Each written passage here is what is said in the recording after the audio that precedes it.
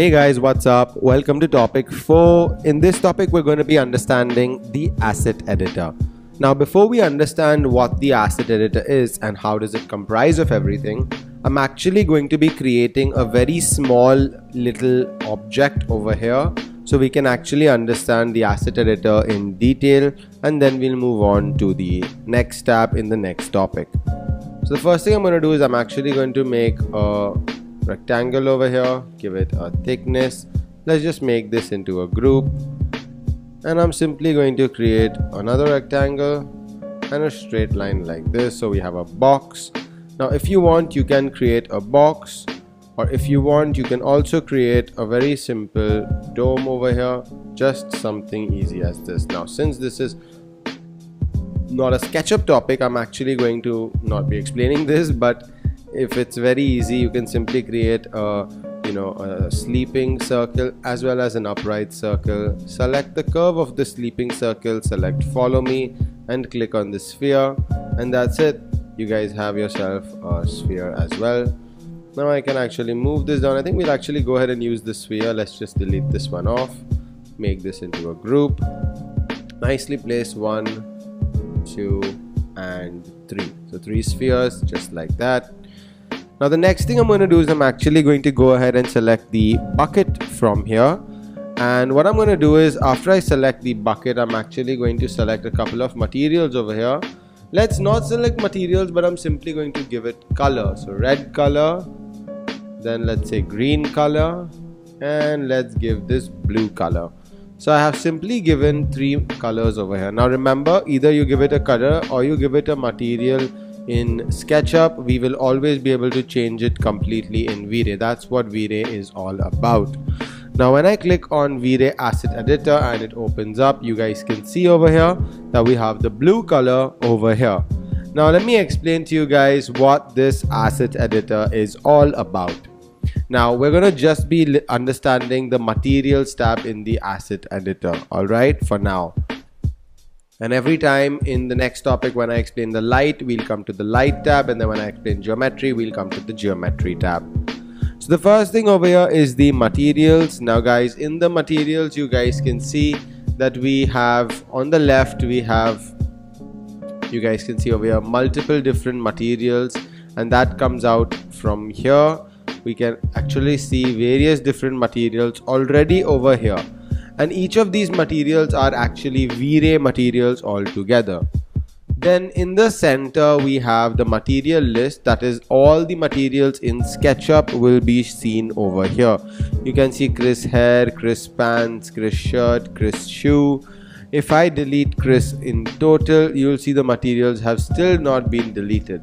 But we can automatically delete these materials. That's not going to be much of an issue. So I can simply go here right click and delete and we can do that for all the materials of Chris.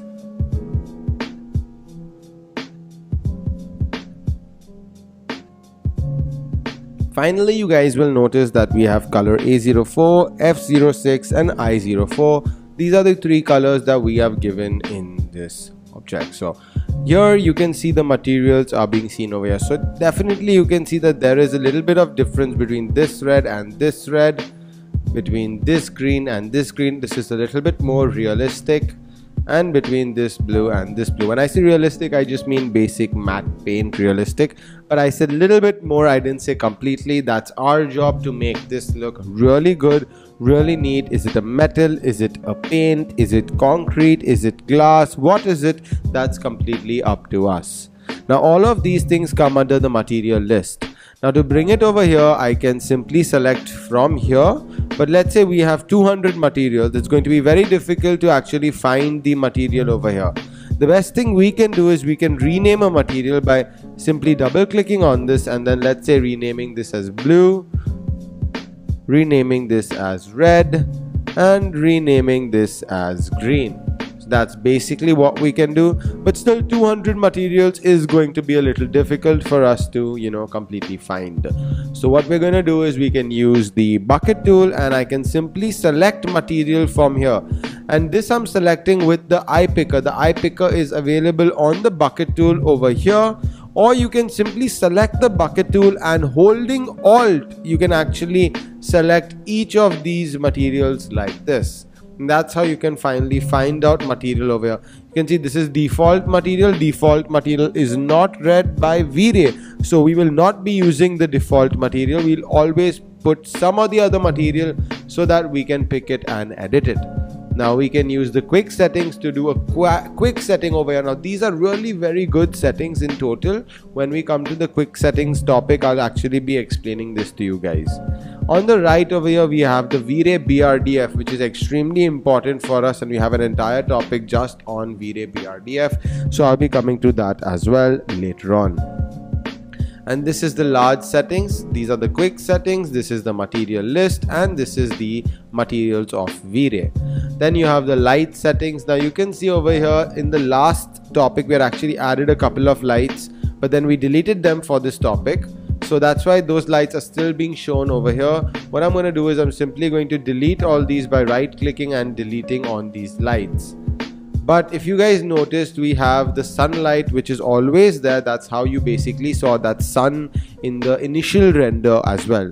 And when I do this we can actually get the settings for the light. So every time we add a light that light will come up over here and then we can get into the settings of that light then we have geometry. Geometry is same. We are adding the infinite plane and the V-Ray fur and you can see we can get into their settings over here which we will be doing in the later topics.